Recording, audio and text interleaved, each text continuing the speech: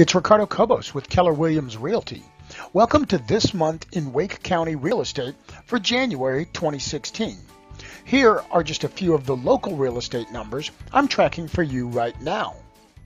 According to the Raleigh Regional Association of Realtors, the number of December home sales was up 9.6% over the same period last year and up 8.4% over 2014.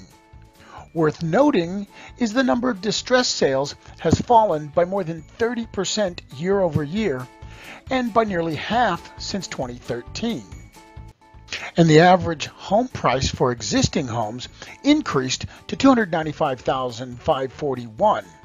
That's up 9.2% from this same time last year, and the rolling 12 month average was up 4.7% over 2014. The median sale price was also up to 259,000. That's up nearly 11% over this time last year, while the 12-month average was up 7% over 2014. Days on market is the number of days that a home was marketed before the seller accepted an offer of sale. The average days on market declined by 22%, while the median fell by 37%.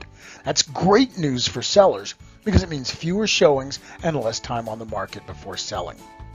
The percent of original list price represents the final sales price when compared to the original list price. The median was up 0.7% in December, while the average climbed by 0.8%. Simply put, sellers are receiving more of their original asking price.